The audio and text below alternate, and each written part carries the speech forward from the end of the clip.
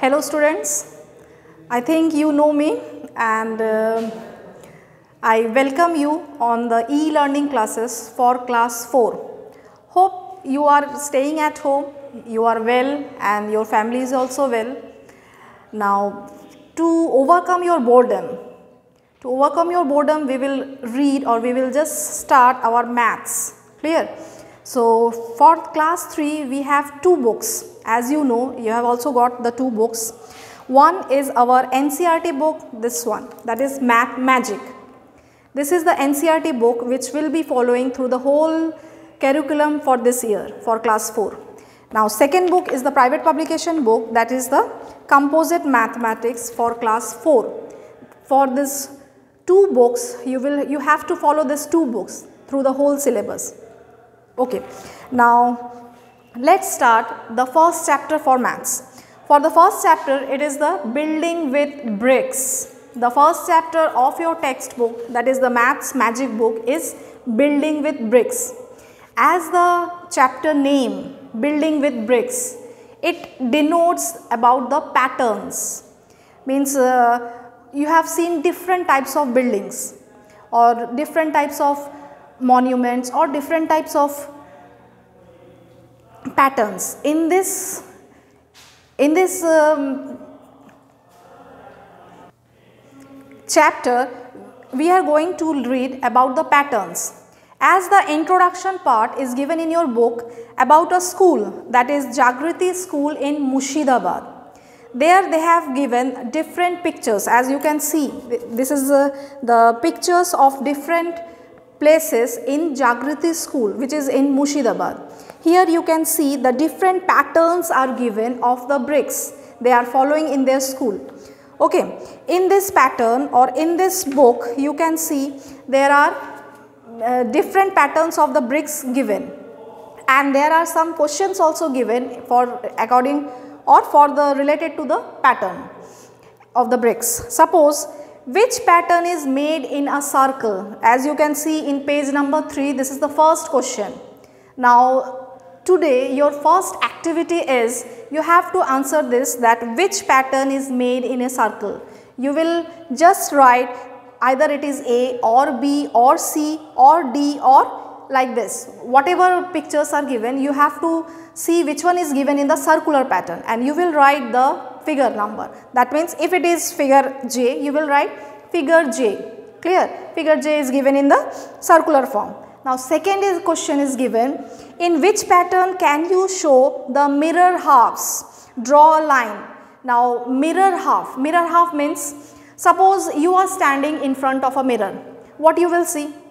You will see the same picture of yourself. So that is called the mirror half. Clear? Suppose I have uh, two palms, when I am keeping these two palms together, this is the mirror half of the palm. Clear? Now, similarly, the second question, in which pattern can you show mirror halves? Same way you will write the answer from this book that which figure has the same mirror halves. Now, third question, now you draw some new floor patterns. Uh, this is just a simple activity you can draw in your drawing book also that uh, different types of patterns you imagine and you try to draw in your drawing book drawing copy rather drawing copy. Okay now one more thing i want to say you from this first chapter from this pattern chapter you can recognize the different shapes also different shapes. Here it is given the bricks. Okay as you know brick is a cuboid so you you are coming front of different shapes of the cuboid or different faces of the cuboid or different edges or the different corners of a cuboid now just see in page number 4 in page number 4 there are two pictures given of a same brick. One brick it is given the side view of a brick. Okay. In that side view you can see there are three faces shown. Just i am showing you. This one is the page. Okay, uh, page number 4. This one, the first picture, here you can see there are three faces of a brick. Clear? Similarly, the same brick but in the second picture you can see only one faces that is the front face.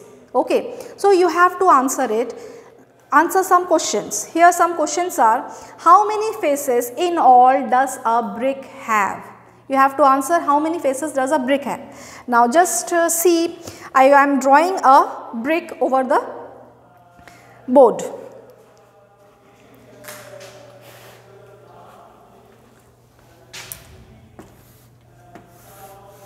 This is the brick. Since you know brick is a rectangular form or rectangular type, you can, you can say also that this is a cuboid. A brick is in the form of a cuboid. Okay. All the faces are rectangular faces in a brick. Now here you can see that there are how many spaces for a brick? Here you can see that there are 6 faces of a brick. Clear? Um, I, I will give you some more example for a brick. Uh, for a cuboid, suppose you all have seen a matchbox. Matchbox you know, in every home we are using matchbox to light up the candle or to light up the diyas like this. Okay, so the matchbox, it is a very true example of cuboid. Similarly, there are some more examples like a book which you are reading, your maths book. Then next comes an uh, almirah which you have in your home. Next comes a wooden box that is also an example of cuboid. Okay. So, these cuboid they all have 6 faces. 6 faces we have in a cuboid same as it is given in your book. In your book the example is given for bricks. Bricks it has also the same it is a rectangular brick the same thing that we have 6 faces in a brick okay 6 rectangular faces rather not simple faces it is 6 rectangular faces. Similarly we have 12 edges and 8 vertices for a cuboid. What I have told for cuboid?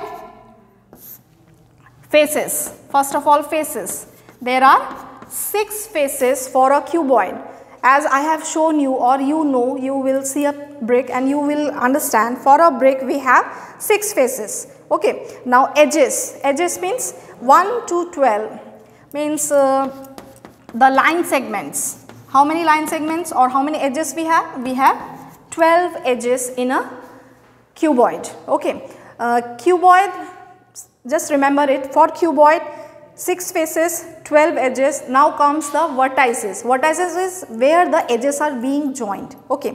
Now vertices. Vertices in the sense you can see say the corners also. These are the corners of a cuboid or a brick. For this we have 8 vertices. Next is vertices. There are 8 vertices for a cuboid. Okay so, what we have learned today for a cuboid or for a brick, example is for a brick as it is given in your book that a cuboid it has 6 faces, it has 12 edges and it has 8 vertices, clear. Now, for, for your homework or this um, as you will go through your textbook, I will say that do it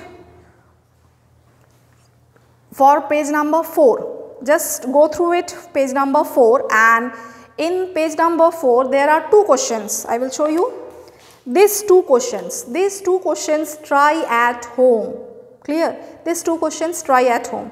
And uh, my request to the guardian is that kindly you stay with your kid and when you are when they are learning this book just stay with your kid and try to understand only about one dimensional figure one 3d figure that is the cuboid okay and uh, tomorrow we will do some more examples of cuboid and next we will do the cube okay. So, just homework is that go through the book try to read or try to complete this book and tomorrow I will say you the answer. So, okay, but go through the book and try to read the book and understand the book. If you have any problem just write over there and ask to me. And secondly, follow the composite mathematics book also. In mathematics book you will read chapter number 16. It is dealing three dimensional shapes. For this three dimensional shapes you do only one shape that is the cuboid and next shapes we will discuss tomorrow. Clear? Okay. Thank you all of you and be safe. Stay healthy and maintain the social distancing. Thank you all of you.